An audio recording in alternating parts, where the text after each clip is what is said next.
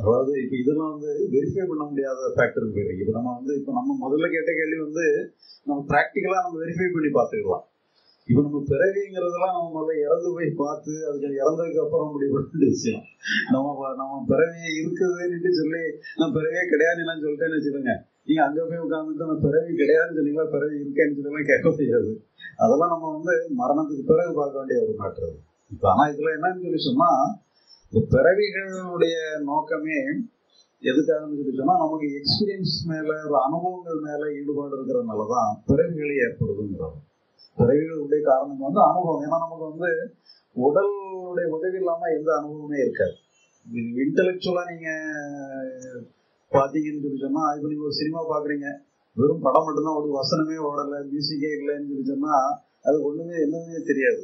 அந்த மாதிரி நமக்கு வந்து எந்த அனுபவமே சொன்னா உடலுடைய உதவி இல்லாம எந்த அனுபவமே அது அனுபவமாவே இருக்காது. இன்பம் இன்பமா இருக்காது துன்பம் துன்பமா இருக்காது. அது வந்து அந்த மாதிரி ஒரு நிலைக்கு போயிடும். அதனால என்ன சொன்னா அந்த உடலினுடைய ஒரு அனுபவம் தான் நமக்கு உண்மையான அனுபவமா இருக்கு. உடல் உணர்ச்சிகள் தான் உணர்ச்சிகளே கொடுக்குது. இப்ப இந்த உடலுடைய உபாதை வேணும் உடலுடைய இன்பம் வேணும்னு சொல்லி நினைக்கிறவங்க தான் பிறப்புக்கே வராங்க. இப்ப அது நம்ம வந்து அதை ஈஸியா எடுக்கக்கூடிய தன்மை வரும்பொழுது பிறவி வந்து முக்கியத்துவம் இல்லாமல் போயிடும் நம்ம வந்து எல்லா அனுபவத்துக்கும் நமக்கு ஒரு இம்பார்ட்டன்ஸ் கொடுக்காத இல்ல நம்ம அந்த அனுபவத்தை தா தேடி இதுதான் வேணும்னு சொல்லி ஒரு பிடிவாதத்தை நம்ம விடுறதுனால இந்த பிடி இந்த பிடிவாதம் இதுன்னு பிடிவாதம் பண்ணாம எப்படி வேணாலும் இருக்கட்டும்னு சொல்லி ஈஸியா எடுக்கக்கூடிய ஒரு போக்கு இருக்கிறதுனால ஆட்டோமேட்டிக்கா அது வந்து பிறவியை கடந்த நிலைக்கு போறதுக்கு வாய்ப்பு. பிறவி இருக்கணும்னு அவசியம் இல்லை. வேணும்னா பிறந்துக்கலாம். அப்போ விடுதலை அடைஞ்சவங்க சுதந்திரம் அடைஞ்சவங்களுடைய ஆப்ஷன் என்னன்னு சொல்லி சொன்னா அவங்களுக்கு வந்து பிறவி வேணும்னா வச்சுக்கலாம் வேண்டாம்னா விட்டலாம் கட்டாயம் பிறந்துதான் தீரணும்ட்டு ஒண்ணு ஏன்னா இவங்களுக்கு வந்து எதுனா ஓகேங்க சொல்லி நிலைக்கு வந்துடுறாங்க. அதான் நம்ம அதான் உண்மையிலேயே நம்ம சொன்னது கூட நீங்க சப்ஜெக்ட் கன்ஃபர்மேஷன் தான். பிறகு இருக்கிறது உண்மைன்னு சொன்னா நிரூபிச்சு காட்டுங்கன்னா நிரூபிச்சு காட்ட முடியாது.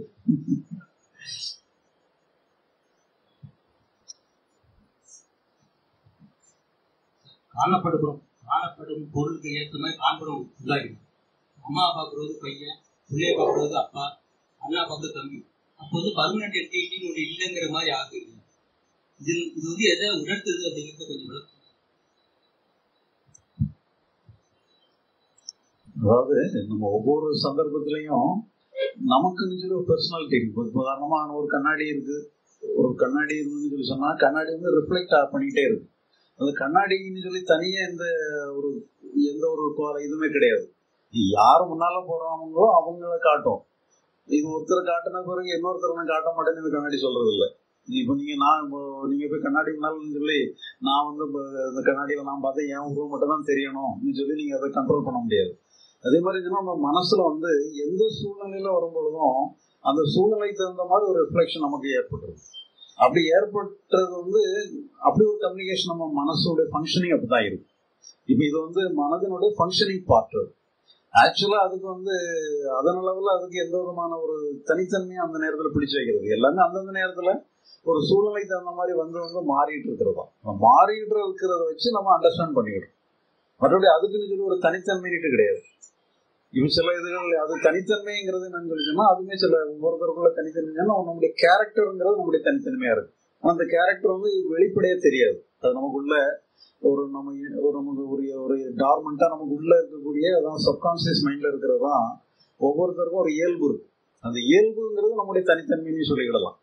மற்றபடி நம்ம வந்து ஒரு எக்ஸ்பிரஷன்ங்கிறதுலாம் அந்த சூழ்நிலைக்கு தகுந்த மாதிரி தான் எக்ஸ்பிரஷன் ஆகும். அந்த எக்ஸ்பிரஷன்ங்கிறது அது அந்தந்த சூழ்நிலையில வரும்போது நீங்க அப்பாவை பாத்தீங்கன்னா அவங்க நீங்க வந்து மகனா நினைப்பீங்க. உங்க மகனை பாத்தீங்கன்னா தகப்பனாரா பாப்பீங்க. இதெல்லாம் வந்து ஒரு ரிலேஷன்ஷிப்ல நமக்கு வரும்பொழுது தானா வரும். இப்போ அதே நேரத்துல நீங்க உங்களை நீங்களே ஒரு உங்களுடைய நீங்கள் உங்களை நீங்களே வந்து உங்களுடைய சிந்தனையோட உதவி இல்லாம உங்களுடைய நினைச்சு பார்க்க முடியாது. உங்களுக்கு நீங்க ஒரு குவாலிட்டி கொடுத்துக்கிடுறீங்க உங்களுக்கு நீங்க உங்களுடைய ஒரு பேரு உங்களுடைய பதவி உங்களுடைய ஸ்டேட்டஸ் எல்லாத்தையும் சேர்த்து நீங்க உங்களுக்கு ஒரு பேர் கொடுத்துக்கிறீங்க அப்ப நீங்க வந்து எதுன்னா அந்த உங்களுடைய தாட்டினுடைய இன்டலெக்ட் பார்ட்டினுடைய உதவியினால உங்களை நீங்க அச்சீவ் பண்ணிக்கிறீங்க. அப்ப இதெல்லாம் வந்து ஏதோ அந்தந்த சூழ்நிலையில இது வந்து அப்படி ஒரு ஃபங்க்ஷனிங் ஆஃப் மைண்ட் வந்து இப்படிதான் இருந்துட்டு இருக்கு. இது நம்ம கொஸ்டின் பண்ண வேண்டிய அவசியம் இல்லை. அது அப்படி இருந்து பண்ற பத்தியே தப்பு கிடையாது.